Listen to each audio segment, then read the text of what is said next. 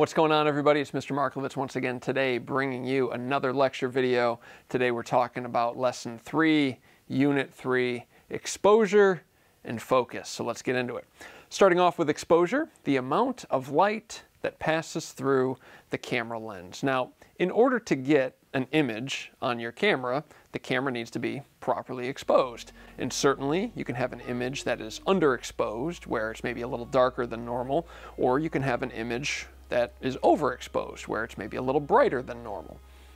Now, I think part of my problem with a lot of movies that came out, especially like in the 2010s, is that they are very underexposed.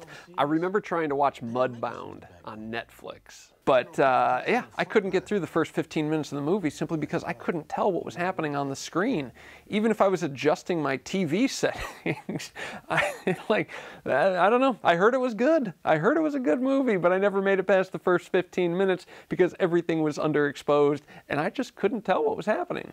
Uh, certainly overexposure, it's, it's a very specific look, especially when, you know, maybe your DP or your director is going for uh, uh, some images that are supposed to look a little hotter than normal, right? A little brighter. And this can be done stylistically. Let's say you have a character who's being interrogated by police officers and they're under these really intense lights. Well, an image like that might benefit from being a little overexposed because the audience recognizes the intensity of the lights that are being used to overexpose the image, and we start to feel like the character in the scene.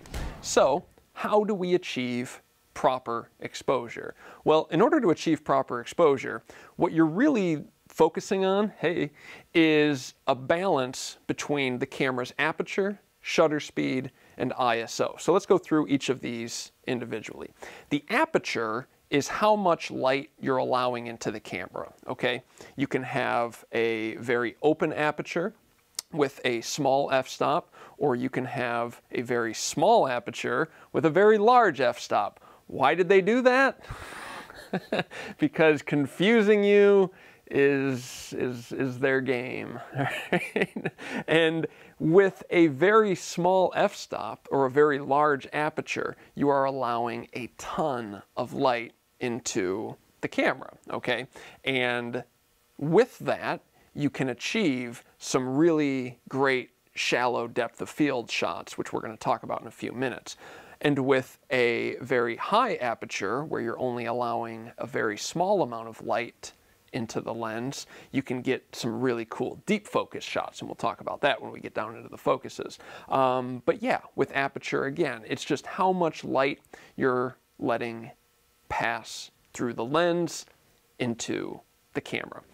And then with shutter speed, we're talking about how long you are allowing the light to pass through the lens onto the film or onto the uh, digital reader, whatever. Okay, now typically with video, you want your shutter speed to be double your frame rate. So let's say we're shooting 30 frames per second, which is pretty standard in video. You would want your shutter speed to be 1 over 60. If you're shooting um, 60 frames per second because you want to get a nice slow motion shot, then you would increase the shutter speed to 1 over 120 seconds. Okay, whatever. And then you have ISO, which is the camera's sensitivity to light. Now, if you're outside shooting in direct sunlight, you might want a really low ISO because the sun is such an intense light. Whereas if you're shooting in a really dark room, you might want a high ISO because that is going to increase the camera's sensitivity to what little light exists in that room. But not so fast, okay? There is a trade-off here. Yes, Increasing the ISO makes it easier to shoot in low light situations, but it's also going to decrease your image quality, okay? It's gonna, it's gonna make your image very grainy, and you certainly don't want that. So my advice on ISO is stay as low as your camera can possibly handle. Your shutter speed, you're just doubling your frame rate. You shoot 30 frames per second, shutter speed should be 1 over 60. And then the aperture, like I said, is measured in f-stops, and it has to do with how much light you're allowing into the camera.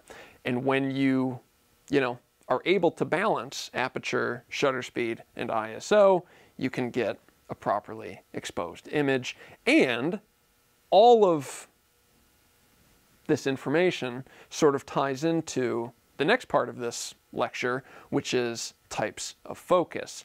Now, with deep focus photography, we're talking about images where everything in the image is crystal clear, whether it's the sky in the background, the buildings in the midground, or your subject in the foreground. And this sort of creates this sense of depth within the image.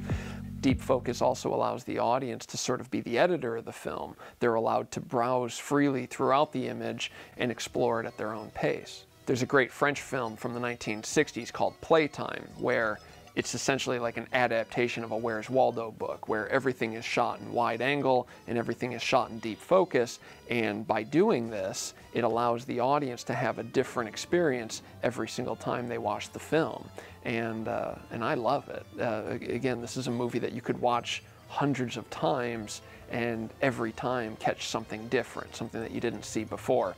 So how do you achieve deep focus? Well, you achieve deep focus with a very high f-stop, okay, where you're only allowing a very small amount of light into the camera lens. So if you want deep focus, you need a lot of light, all right? That's why it's an easy shot to get when you're shooting outside because again, the sun is so intense, the sun will allow you to, you know, close that aperture, increase that f-stop in order to give you that deep focus shot.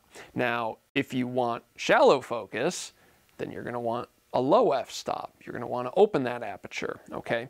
And with shallow focus, only part of the image is in focus. Maybe you have your subject in the foreground and they're in focus and the background is completely blurred out.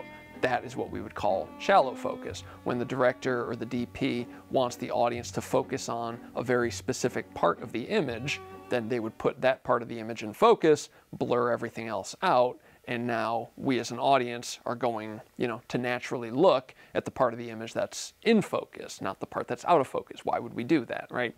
So it's a cool way to sort of direct the viewer's attention. Now I know what you're saying.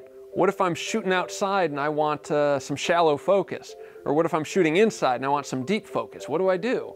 Well, if you're shooting outside in direct sunlight, which is very intense light, and you're trying to get that shallow focus shot where you're allowing a lot of light into the camera, it's going to be overexposed, right? Because you're allowing too much intense light into the camera. So what do you do? You use a neutral density filter, which is this nice little uh, lens. it's like putting sunglasses on your camera. It's this nice little lens, this little adapter that you screw onto the front of your camera, and it darkens the image for you, okay? And now you can shoot in direct sunlight with a low f-stop and get that shallow focus.